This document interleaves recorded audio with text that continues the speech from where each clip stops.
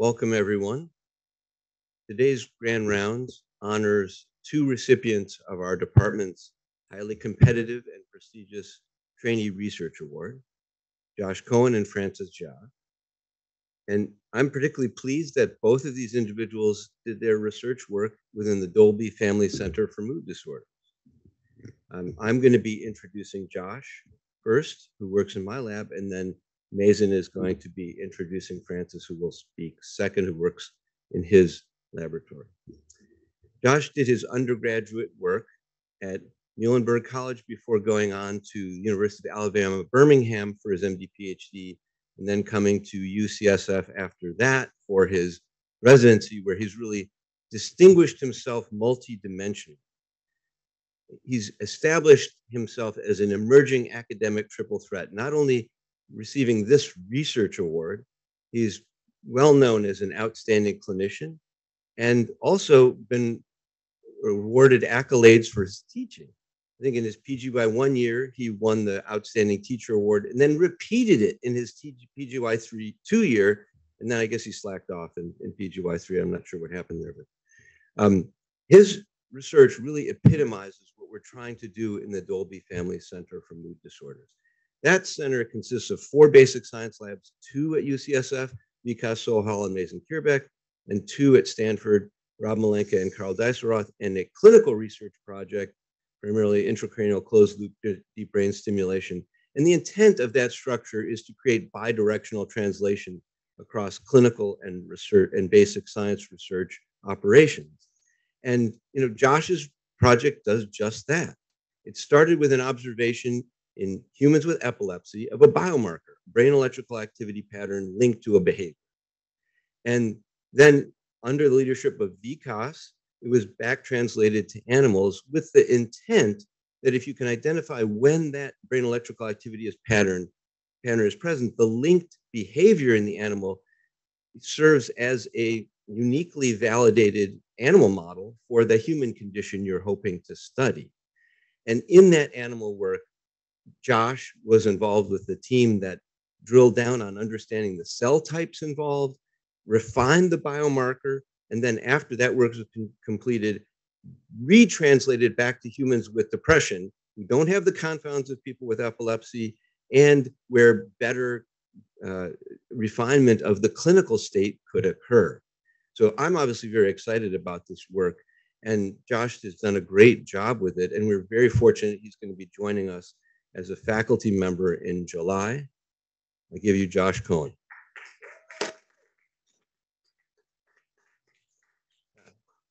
Thank you for that uh, really warm introduction. It's, it's really an honor and a privilege to be giving this talk today. It's been an amazing four years um, that I've spent in residency here working with incredible colleagues and mentors. And I'm um, really excited to be able to share some of my work with you today, um, specifically that work on amygdala hippocampal coherence and its uh, role as a biomarker of predominant symptom sets in patients with depression.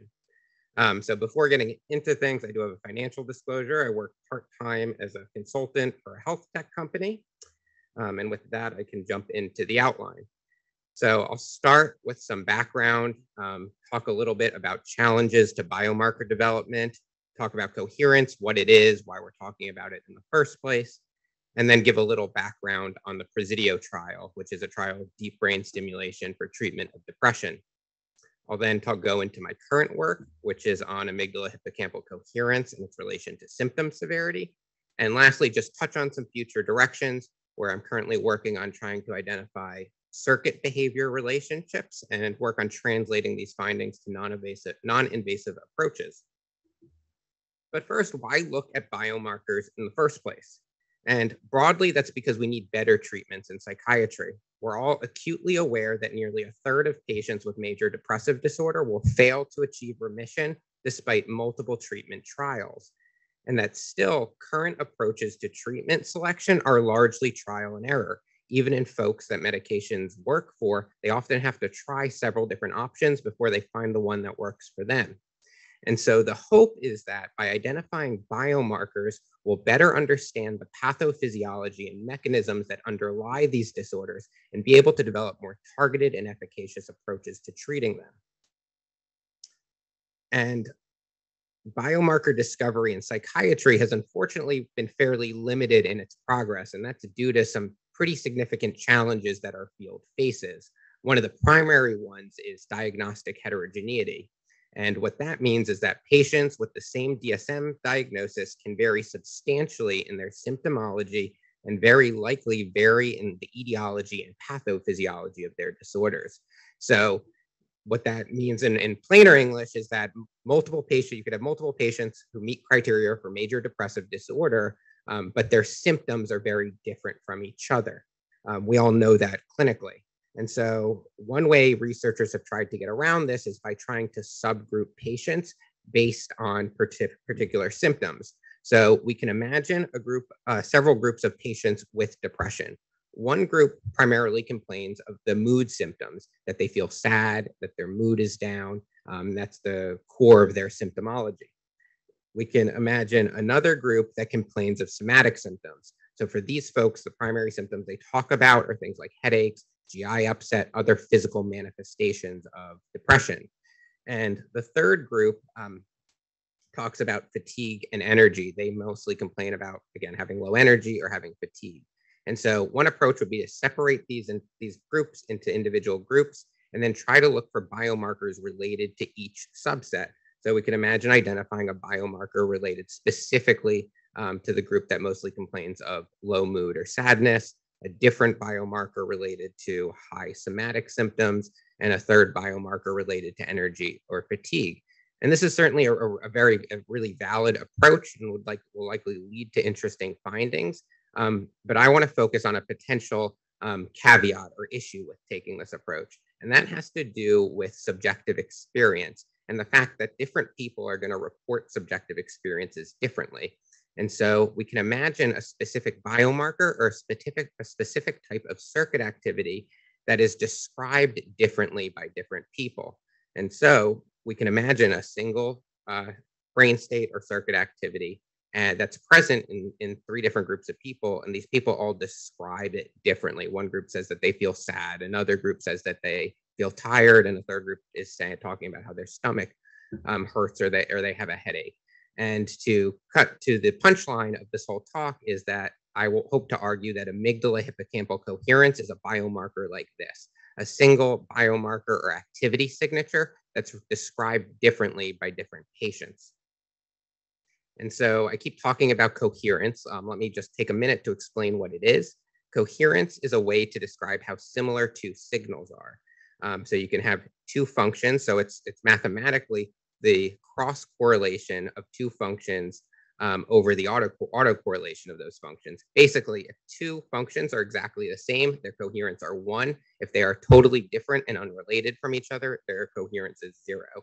And so the functions I'm talking about are brain signals. So you could take an EEG trace and compare it to another EEG trace and see how similar those traces are. Um, and in the data that I'm going to be talking about, these are intracranial EEG. And so, you know, the reason, you know, we're interested in coherence and the reason we're the reason we're interested in amygdala hippocampal coherence in the first place has to do um, with this previous study that linked amygdala hippocampal coherence um, to negative emotion in patients with epilepsy. So in this study, patients with epilepsy who had electrodes implanted across their brain, we could see some of the regions they were implanted with um, in this figure. Um, they had electrodes implanted in order to map their epileptogenic focus because they were going to have surgery to remove it.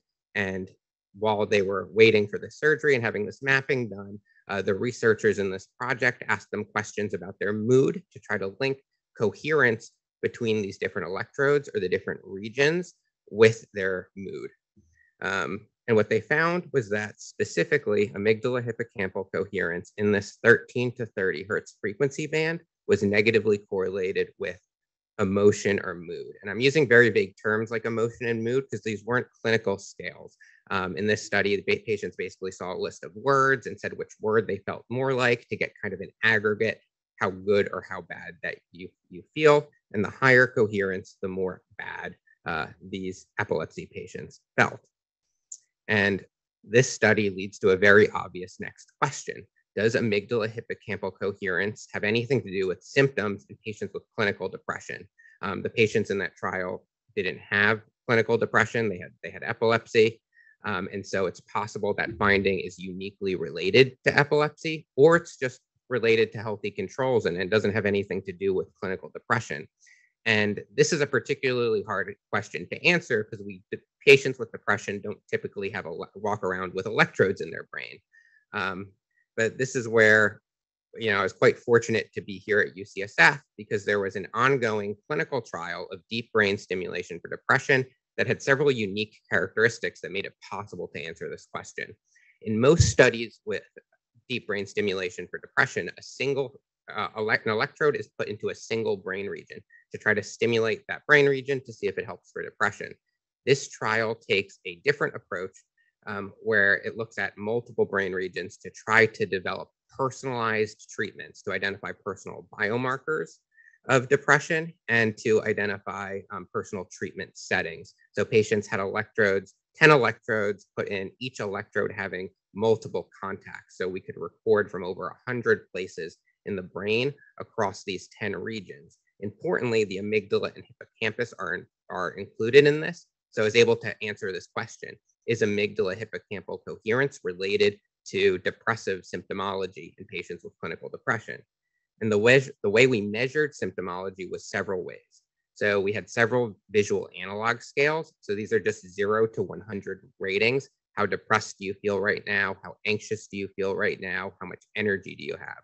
We also looked at a Hamilton Depression Rating Scale, which is a more standardized measure of depression symptomology. So it asks a couple questions about different core features of depression. And we also looked at Stanford Sleepiness Scale to see how sleepiness might correlate with these other symptoms.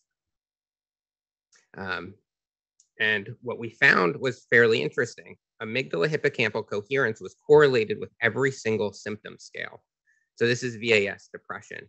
The higher the amygdala hippocampal uh, coherence, the higher the rating on the visual analog depression scale, uh, R squared of, of 0.108, um, P to the negative five, fairly significant. Um, even more so for Hamilton depression ratings, an R squared of 0.145. Um, this was also amygdala hippocampal coherence was also related to anxiety and energy, albeit to a lesser degree. So VAS anxiety um, had a p-value of 0.007, um, a, a weak but still significant relationship. The higher the coherence, the more anxiety patients reported, um, as well as energy, except in the opposite direction. The higher the coherence, the less energy um, patients reported.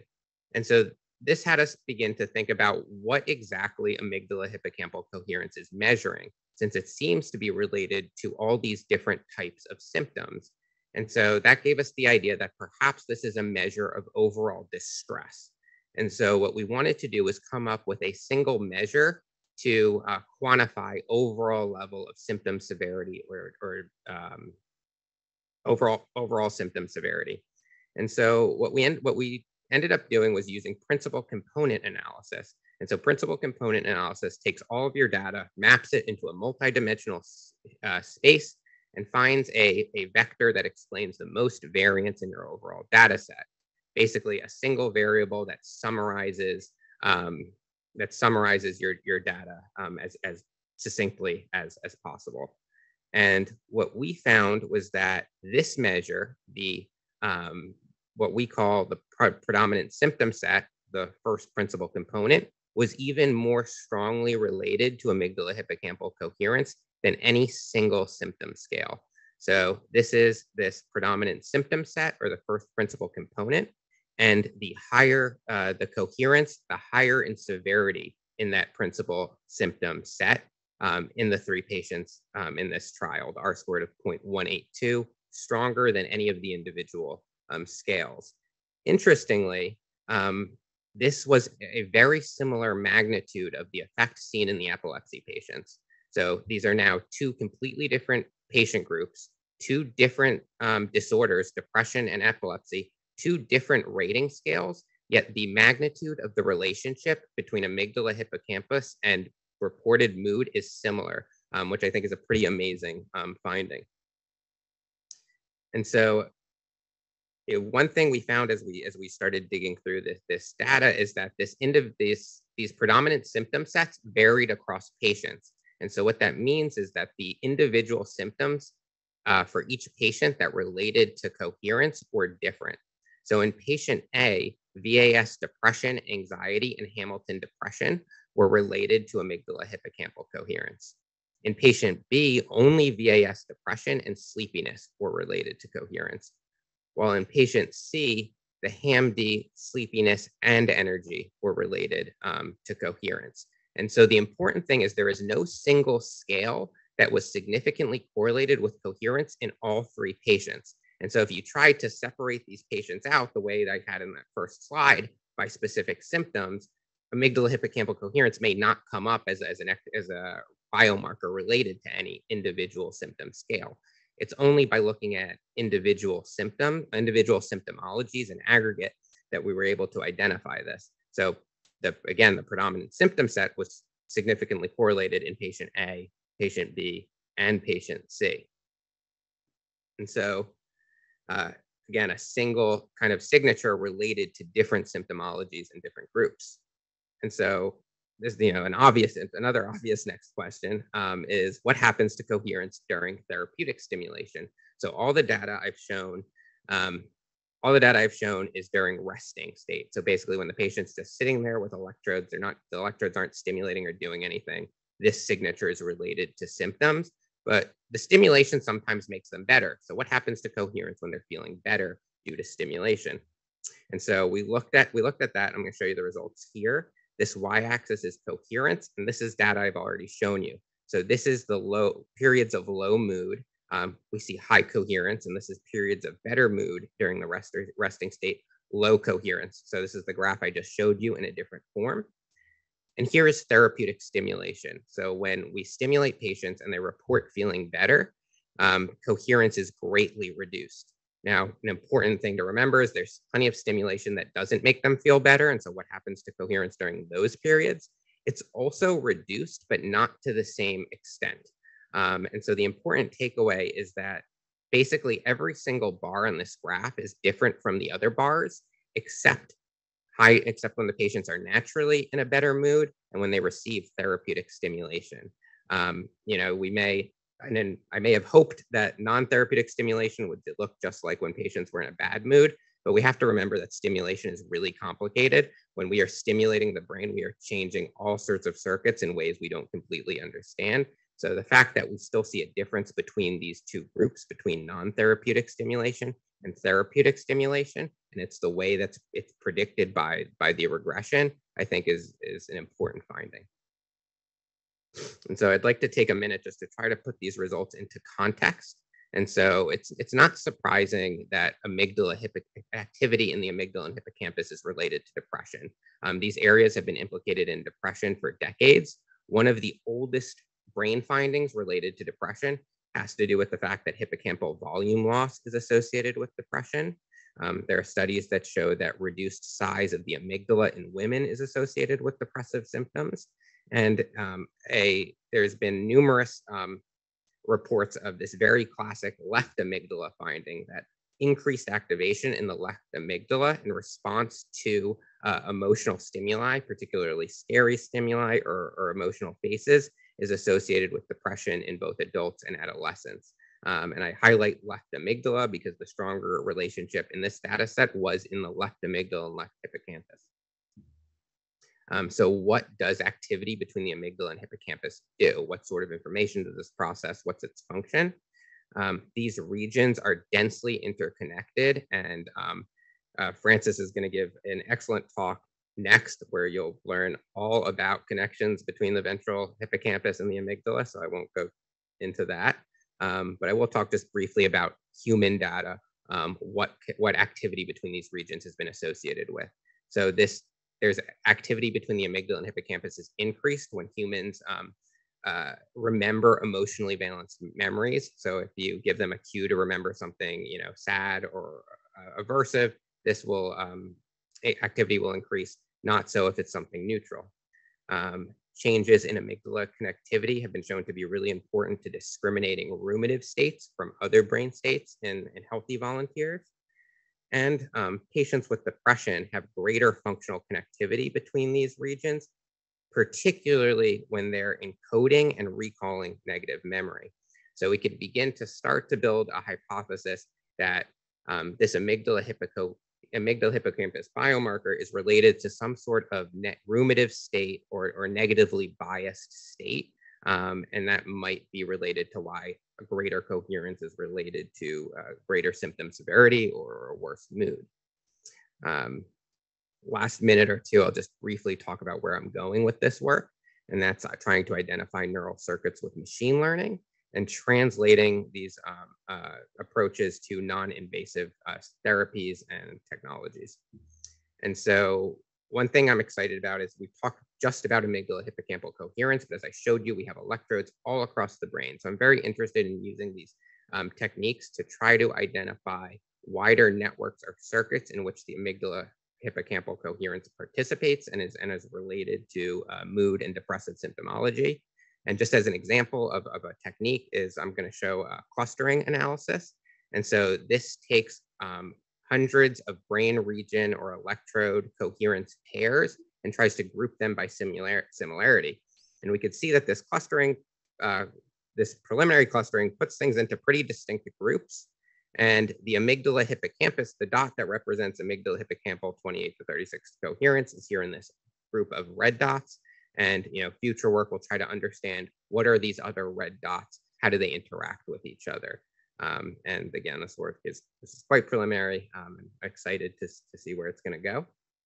And then next is trying to translate this to non-invasive approaches. Um, there's only going to be so few, there's never going to be a ton of patients with uh, deep brain stimulation for depression.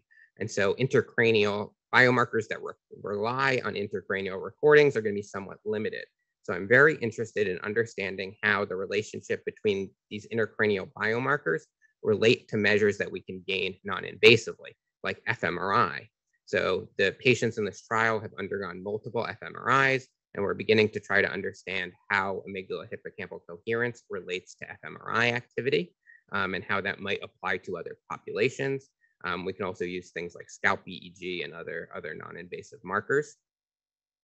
And then try to translate these to other approaches, to non-invasive ther therapy approaches like RTMS um, and uh, focused ultrasound, um, which could be done on patients without uh, non-invasive, which could be done on patients um, without doing surgery um, on them, um, with the ultimate goal of making circuit-targeted therapies a first-line treatment for mood disorders. So we can move from a trial and error approach, exemplified by you know this famous figure from STAR-D, um, to personalized treatments, um, where we use data such as EEG or fMRI um, to uh, to design um, personalized treatments using like TMS or focused ultrasound to modulate brain activity and uh, improve um, quality of life.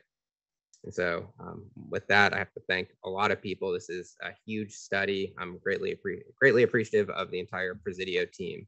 Um, and I think I have some time for questions maybe.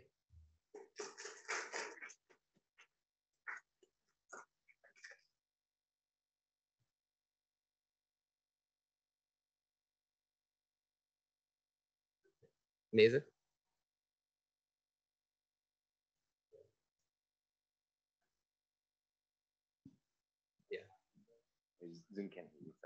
Yeah, the question was what time window am I looking at coherence? Um, and so the data shown is two and a half minutes prior to them putting in their mood survey.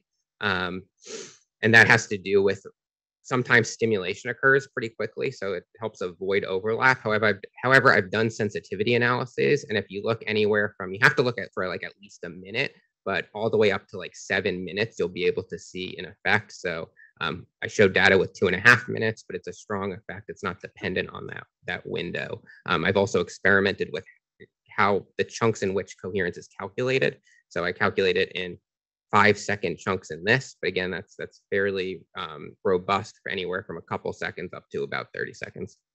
Sorry, just a, a follow up, but related to your conclusions, like, have you ever measured like while the animal, while the human, sorry, while the humans are on task or, because you, you talk about this idea of like memory and, and Yeah. rumination like uh, so could this is this does this biomarker differ in say a resting state versus when they're actually on task? Yeah, so I'm I'm incredibly interested in that question. And so you know Clara Starkweather, who's a neurosurgeon who works um, with the group and does a um, task-based um, does a uh, approach avoidance task. Um, I'm very interested in collaborating with her to see if we can apply some of these measures to, to her work. Um, one of the tough things is coherence has to be calculated at least over a, a second or two. And a lot of these tasks are, are done much quicker than that. And so there's some technical challenges that Clara and I are still working to overcome to see how we can apply, um, you know, short-term measures of coherence to these very rapid um, tasks.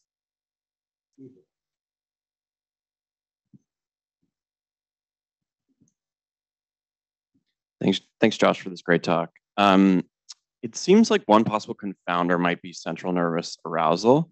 And so I'm wondering if you have any reason to think that uh, the visual analog scales, particularly for depression and anxiety, might be affected by that and you know maybe by a sort of subjective sense of fatigability or tiredness. And a related question i'm also wondering what kind of differs in the environment between the mood reporting time points? Like are those at different times of day mm. different hours of, of yeah. rest? So super really good question.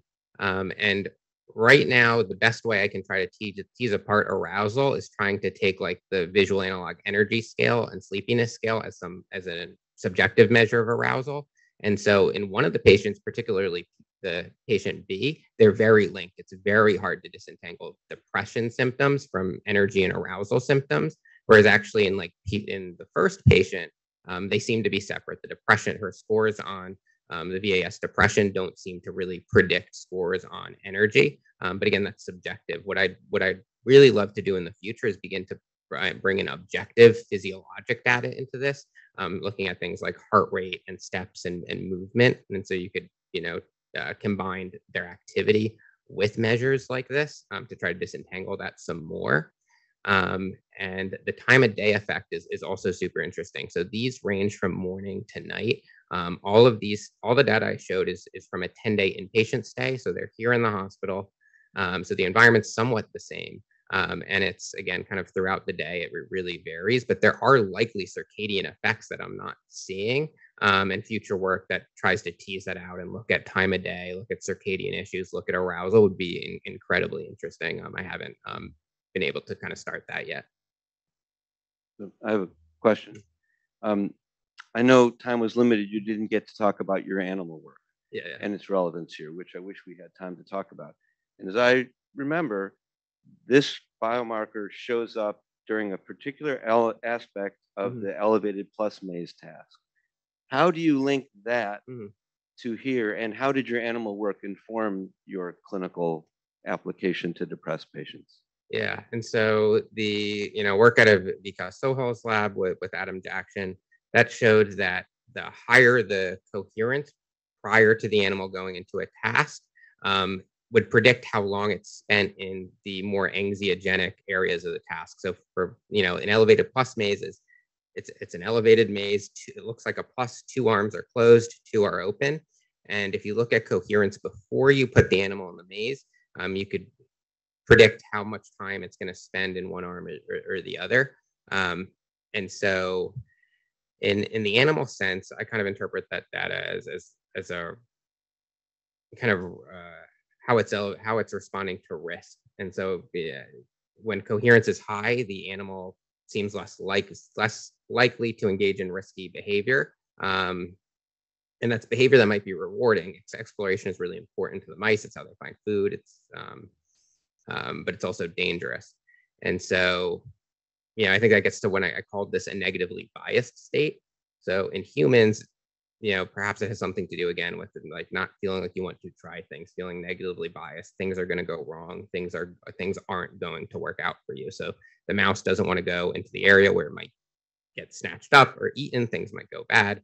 The human doesn't want to, you know, try new things. Um, and that's kind of a very hand wavy um, explanation. It'll be interesting to kind of get more descriptive um, responses of how people feel during, you know, uh, when this biomarker is active. One last question, then we have to turn it over. Um, the fact that you have a biomarker that is linked to different symptom scales in different people seems to have important implications for future efforts to develop biomarkers. Could you speak to that? Yeah, I, I wish I had more time in, in the talk. And so, um, for example, in that first, if we had split people up by just scale, we wouldn't have, have found this biomarker. And so I think it shows the importance of really doing deeper um, assessments um, in individuals. So, you know, classically, if you do a clinical trial for depression, you do a MADRS maybe three or four times every couple weeks, and you just use that full score. Like, does this improve depression or, or does it not? I think really across our, our research, we have to be doing um, deeper pheno- phenological uh, assessments, uh, really understanding what are the symptoms people are experiencing, how those symptoms fluctuate, and um, how our treatments or interventions affect that, how that relates to biology. Thank you. Mazen, would you take over from here? Thank you, Josh. Thank you, everyone.